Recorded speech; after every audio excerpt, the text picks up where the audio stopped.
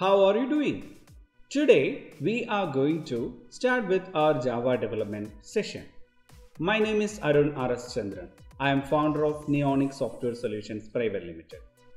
In today's session, we are going to cover about how we can set up a Java development environment using JDK. I'll be showing where you can download JDK, how we are going to set up JDK and how we are writing a Java program and running it using the command prompt.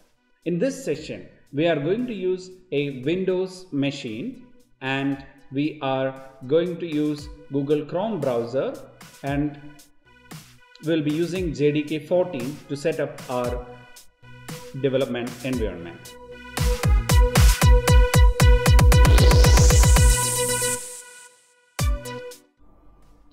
To work with Java, we need to have Java development environment or JDK installed in our Windows machine.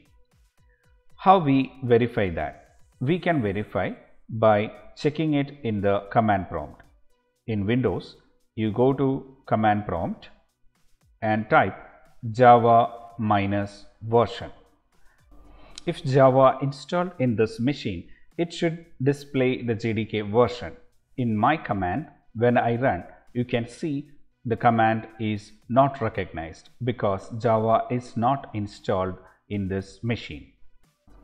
Now we can open our Google Chrome and type jdk.java.net.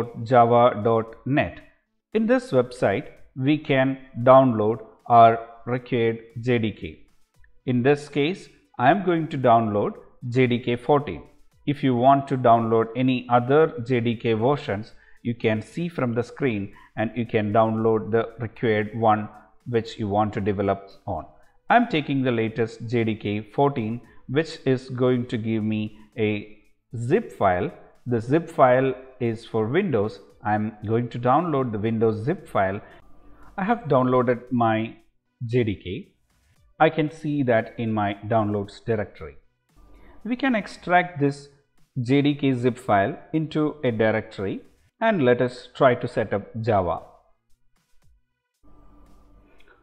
Open the C drive, program files and going inside a folder named Java. This folder has created when I installed JDK 8 in my earlier days. Now I am going to extract the JDK which newly I downloaded into this same directory. Let's extract this. Now you need to give an admin privilege to continue to copy it into the C drive.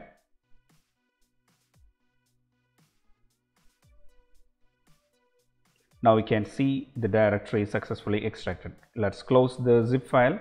The next thing we need to do is we need to configure the environment variables. That means we need to add this Java command into the class path. For that, open the search bar in Windows and then search for environment variables. Click environment variables, open the system variables. Let's edit the path. In this path, we don't see a JDK bin directory let us add our JDK bin directory to the path variables. Click new, variable name, we will type in full caps java underscore home. Go to the JDK directory, copy the full path and paste it as the variable value. Next we need to add this java home bin directory to the path variables. Here you need to add new java home remember in between the percentage symbols and add slash and bin. Now your JDK is part of the system variables path. We can verify this by opening back our command prompt and type java minus version. Let's see it is going to display our open JDK version. The version is coming that means we have successfully installed Java into this Windows machine. It's time to start our coding. Let us start writing our first Java program, which is a Hello World program. Go to desktop, right click, create a new folder to start with our programs.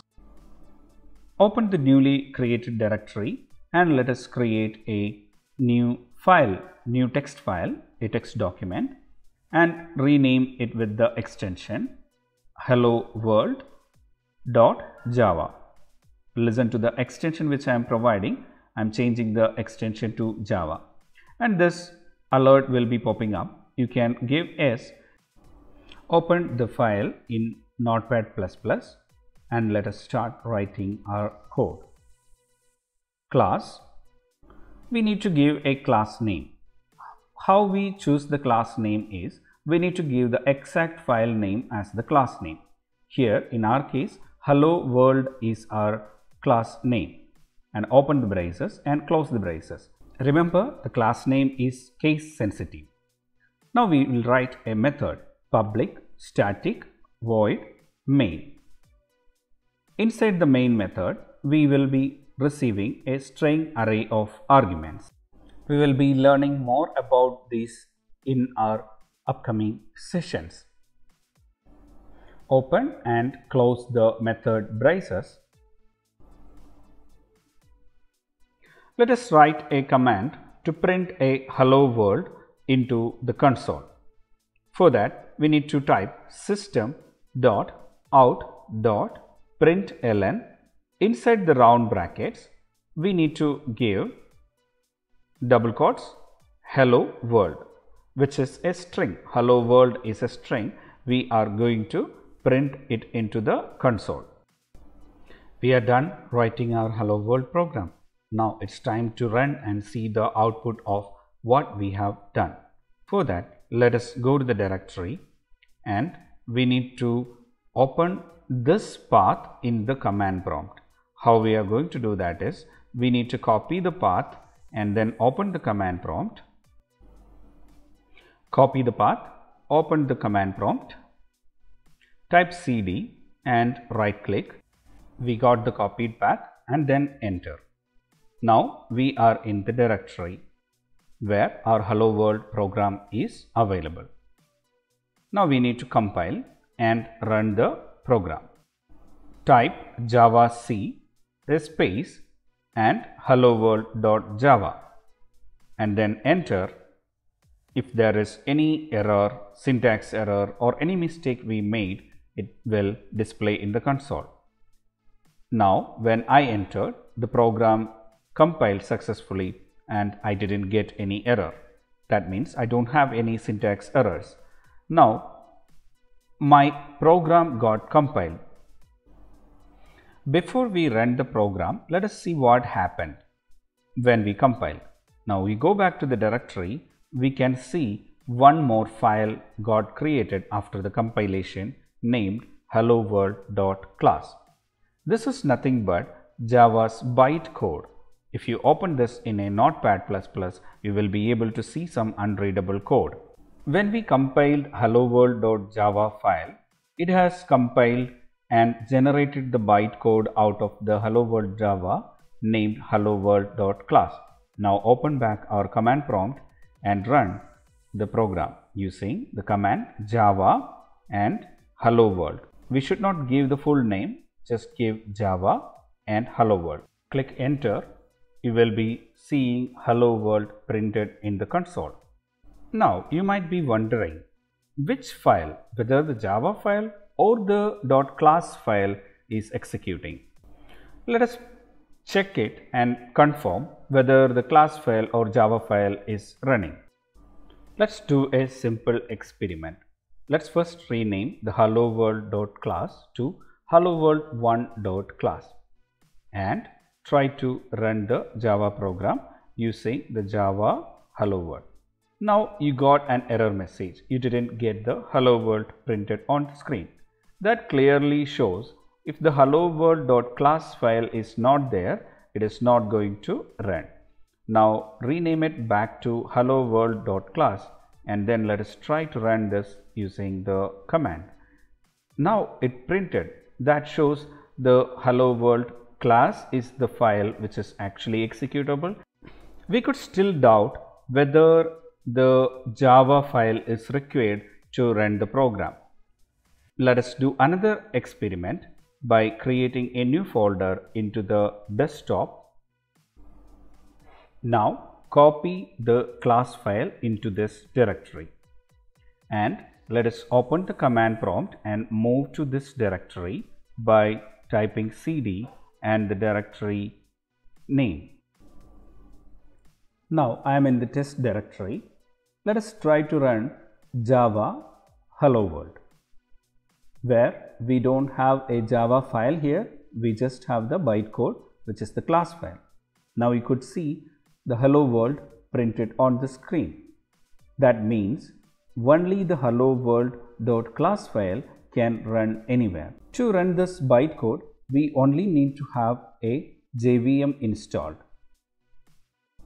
Now let us switch back to the original directory where we had our source code and let us try to run the Java command. I'm running Java hello world. Now what happens is Without the bytecode, it cannot run. With all that experiments we have done, it is proved that the bytecode is the one which is executable and which is running in a JVM environment.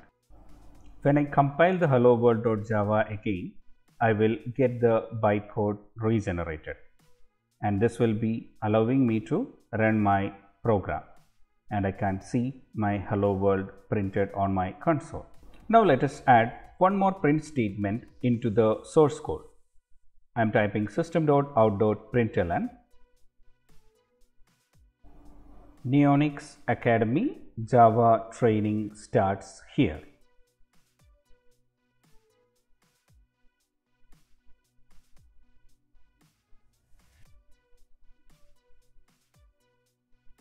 switch back to command prompt and compile using javac hello world. Now we got the bytecode.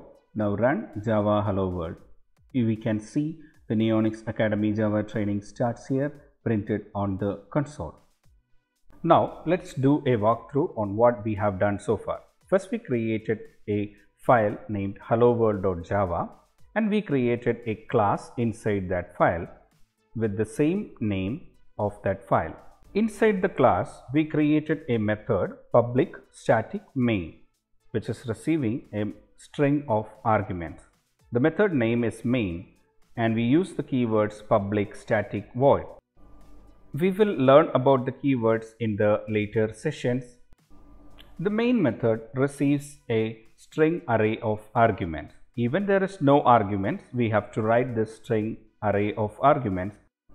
Now we wrote some statements inside the method body.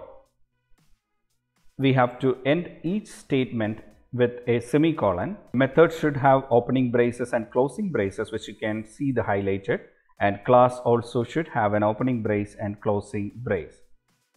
And a class is declared using the keyword class. Also listen to the syntax of the braces, the opening braces and closing braces we write methods inside the class body. We use public access specifier here for the main method. The reason because the main is the entry point for a program to run. So we need to make that as a public access specifier otherwise it cannot run. And we use static. We will learn about the static keyword in the upcoming sessions and this method doesn't return anything so we have mentioned the return type as void. Also we added two print statements inside our method body for printing a hello world and printing a string Neonicz Academy Java training starts here. What we have done so far is we created a hello world Java program. We created a class. We wrote method inside it we can have multiple methods inside a class. We will be learning that things in the upcoming sessions.